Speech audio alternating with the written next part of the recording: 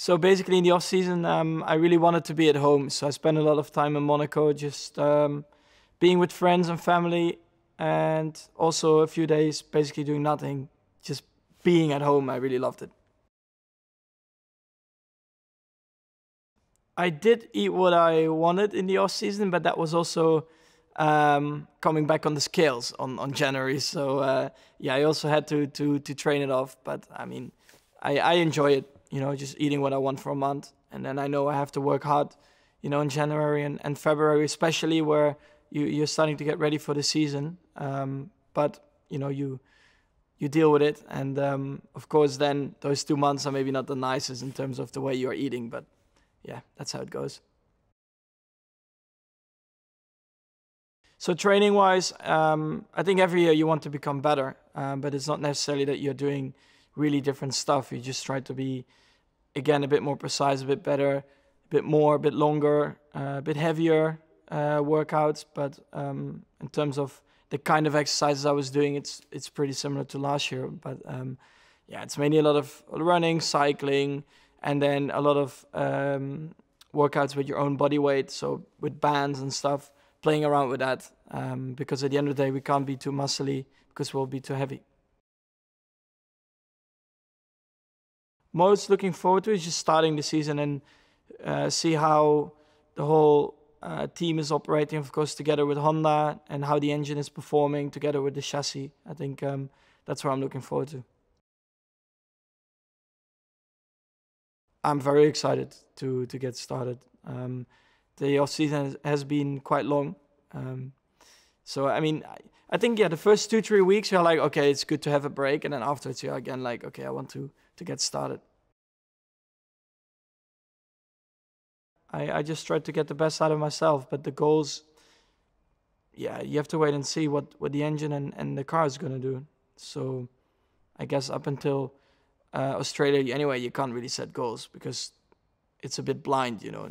In, in Formula One, it's so related to the package you get. So um, I'm always quite easygoing. And I mean, it, that doesn't mean I'm, I'm always going to try to do as good as I can and try to get the best out of myself. But yeah, you're so dependent on what you get as a package. So you just have to wait. Yeah, so the, the big change is, of course, the front wing. Uh, it's made a lot more simple and wider as well uh, to try and improve overtaking.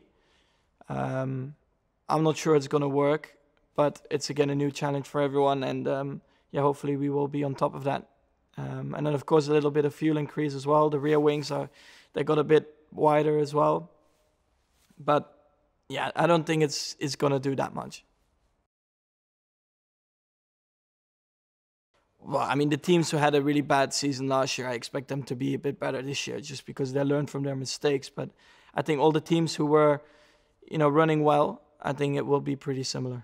I, I don't think it will improve racing because the cars are too they have too much downforce and they're too wide. Um, but yeah, we'll see. Some tracks are anyway better for overtaking than others. You always have a, a few tracks on the calendar where you can't really overtake, and some tracks they have a lot of opportunities, and I expect it to be exactly the same. I'm I'm very excited to just get started with the engine. I really want to feel how it upshifts, downshifts, how the drivability is, how much power there is, and um, from there onwards, you know, you just start to uh, to work together with the car what you can improve. I'm looking forward to just start working together and improve and push the, the team forward. I think that's our aim, and um, yeah, hopefully we'll uh, succeed in that.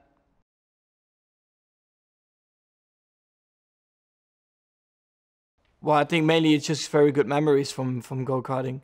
Um, and now we're in Formula One. You know, it's a few years later.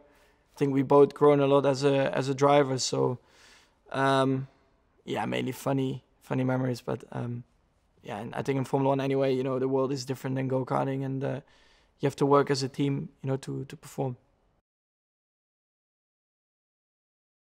Yeah, I'm I'm fine with playing against Pierre. He's very um, easy to wind up on FIFA. So if I get him into that state, I'll win.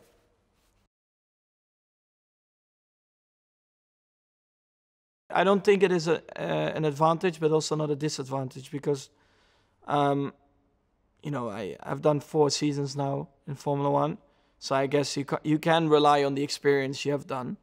And um, yeah, for Pierre, he has done one and a little bit, um, but you know the team is so experienced; they they will help him to to go through it the same they did with me. And um, of course, you know when you're 30 years old, you have a lot more experience, but it's not necessarily that you're faster.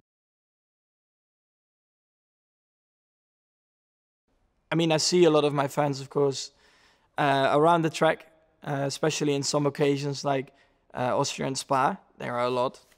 Um, it doesn't make me faster, but it just makes me smile a bit more in the car.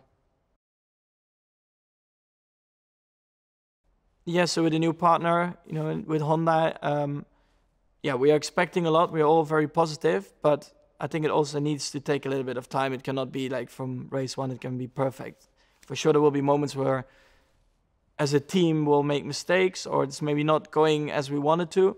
But i think what is very important is that the team and honda we are, we are pushing really hard you know to improve the development. And at the moment i am of course very optimistic um, but also realistic. And i think time will tell how we are going to perform